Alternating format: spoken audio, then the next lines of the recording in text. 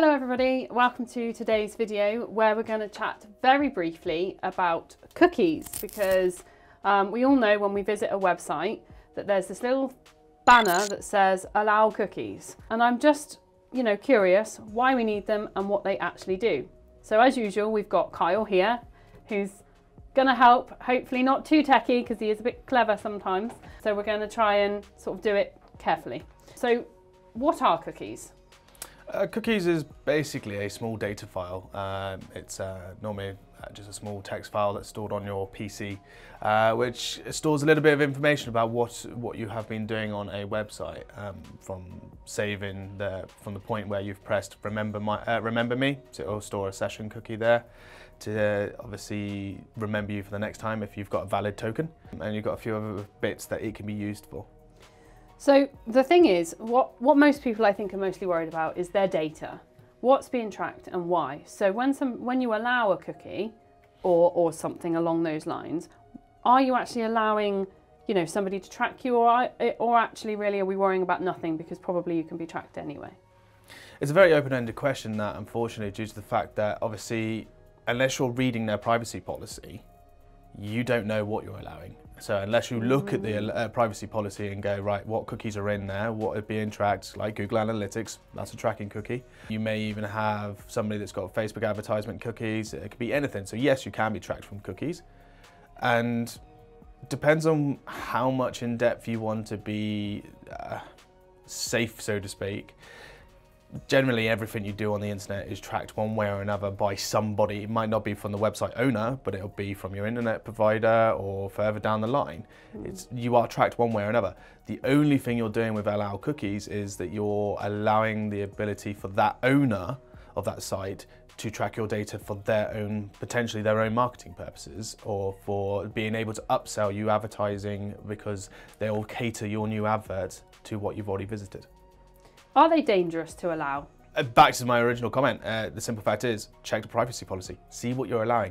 You may find that you go to a malicious website, don't know about it, you press allow, and then you've ended up with a tracking cookie that is tracking your computer in a malicious way. However, that's all down to the simple fact that you need, you either, if you're very cautious, check the privacy policy, see what they're tracking, or don't click allow if you're not 100% sure. But no, that in general, most cookies are generically safe for everybody. However, there is people that will use them in a malicious way, like anything. So I've seen a rumour, don't know how true it is, that potentially cookies are going to be removed, or at least the, you know, the banner of allowing them or not will be removed. What implications will that have, in your opinion? Because presumably anyone that's trying to track Google Analytics as a small business to try and, you know, successfully market or advertise if you're a small business, it's kind of important to have those things, isn't it? The only way I can think of is obviously cookies are going to go because we're storing data in different areas now. We don't need cookie data to store stuff, but uh, I don't know what's coming. They could potentially put in a banner that says, we are tracking you, do you allow this? And it could just be the same as a cookie policy, but it'll be using a different technology like session variables or something like that that will allow us to store that data in a different location. But there may still be a prompt um, a lot of the cookie policy is down to legislation and law through different countries. I mean, Canada has a different mm. legislation to the UK. We, I think, believe for Canada, you have to state every single individual uh, tracking part, and you have to accept each one individually or accept all. Whereas in the UK, I believe, um, don't quote me on this, but uh, I believe that we only have to say that we are tracking you and do you accept this? If not, mm. remove all cookies. So, last question on this subject. Um, in your opinion, as somebody you know in the tech industry, is it a good idea to have cookies and allow the tracking because you can help a small business create a better marketing strategy?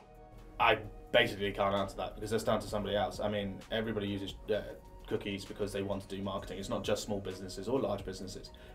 Everybody wants data because you can manipulate data to work for your business no matter which way you look at it if you want to help that business, press yes. If you don't, press no. I mean, they're going to find a way, one way or another, to make their business better. Helping them track a little bit more information, yes, it does help, but that's personal preference. Fab. I think that's everything. Although I did then remember that obviously with email marketing, there's a lot of, you know, MailChimp, in fact, track the open rates of emails. So although they're not cookies, um, you know, you are, as a small business and our audience that often watches this, um, you know, you are interested in that data. So it is something that is probably uh, something to think about and, and know a little more about if you need to, you know, do Facebook ads, Google Analytics or email marketing. And I think that's, that's everything for today. Thanks. Thanks for watching. Like and subscribe for our next video.